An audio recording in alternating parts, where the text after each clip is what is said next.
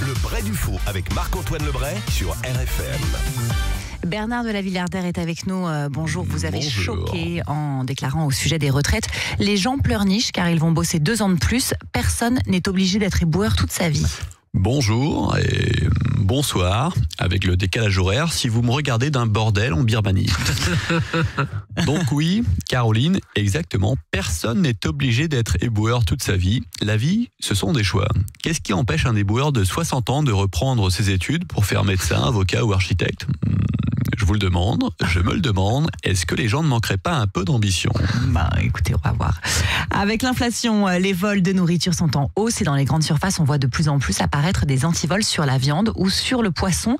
Est-ce que vous voulez réagir, Jean-Luc Mélenchon? Oui, madame, c'est un scandale. Où allons-nous? On croit rêver des antivols sur de la viande et pourquoi pas de la sauce tartare sur les vélos tant qu'on y est?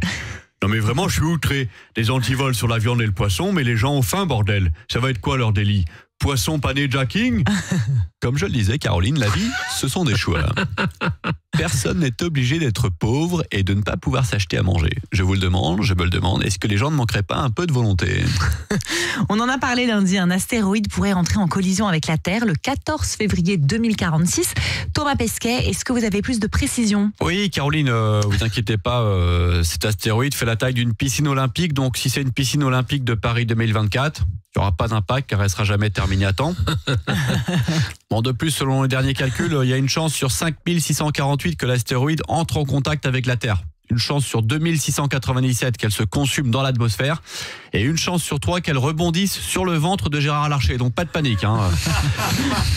En plus, si l'astéroïde s'écrase sur Terre, il suffira juste de suivre quelques recommandations très simples, comme ne pas se trouver à moins de 20 000 km de la zone d'impact, ou ne pas respirer l'air extérieur durant les deux années qui suivent la collision. Donc vraiment, encore une fois, pas de panique. Ah, Ok. Euh, concernant l'atroce séisme qui a lieu en Turquie, l'Europe a promis 1 milliard d'euros d'aide. Hum, Pardon Caroline, mais la vie, ce sont des choix. Personne n'est obligé d'être un mendiant en Turquie au moment d'un séisme quand il suffit d'être un milliardaire qui habite à Monaco. Je vous le demande, je me le demande, est-ce que les gens ne seraient pas un peu cons? Les restaurateurs parisiens se plaignent de la forte baisse de fréquentation due aux poubelles sur les trottoirs. Philippe Etchebest, est-ce que vous avez un avis? Oh Alors déjà, mon avis, c'est qu'il y a des restos où leurs poubelles sont bien plus appétissantes que leurs cartes. Oh non D'ailleurs, Karim et son taco 16 viandes, là, si tu m'entends, crève. Bon, l'autre jour, j'étais dans un resto tranquille en train de faire pleurer une serveuse qui m'avait rien fait du tout et de pousser au suicide un cuistot pakistanais sans papier. Bref, un lundi, quoi. C'était inacceptable. L'état de la cuisine, les cafards eux-mêmes m'ont appelé au secours. Allô Philippe, aide-nous, c'est trop crado ici. Même nous, on n'ose pas rentrer sans le GIGN. Franchement, je croyais avoir tout vu dans ma vie. Ouais, je suis allé voir le spectacle de Julien Courbet. Mais là, c'était la putain de cerise sur le putain de gâteau là. J'étais tellement furax que j'ai mis une patate au stagiaire de troisième, putain. Et vous, Cyril Lignac, vous avez une solution pour aider ces restaurateurs euh, gênés par les ordures? Ouais, Caroline. Et je m'adresse à tous les restaurateurs. Sortez-vous les doigts du cul et faites-nous des super recettes. Mais lavez-vous quand même les mains entre les deux. Oh non Donc, s'il y a des poubelles devant chez vous, on s'en sert et on s'adapte aux produits de saison. On attrape deux trois rongeurs, on les fout au mixeur et hop, une ratatouille. Soyez créatifs. Ramassez une pampers et faites une couche Lorraine.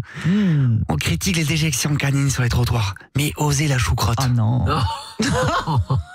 Allez les gars, c'est le moment de changer la carte et de nous faire rêver. la choucrotte. La choucroute.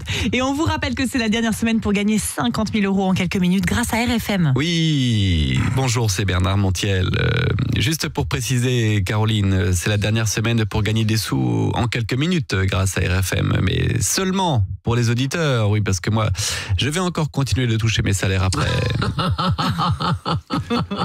Pardon, Caroline, mais je suis d'accord avec Bernard Montiel, car la vie, ce sont des choix. Donc pourquoi choisir de bosser dès 6 du mat tous les jours de la semaine quand on peut juste passer 10 minutes en coup de vent le samedi pépère?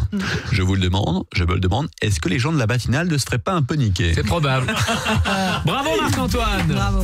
Marc-Antoine Lebré sur RFM tous les matins à 8h15, le replay en vidéo sur le Facebook du meilleur des réveils et en podcast. Et Marc-Antoine Lebré qui est en tournée en ce moment avec RFM.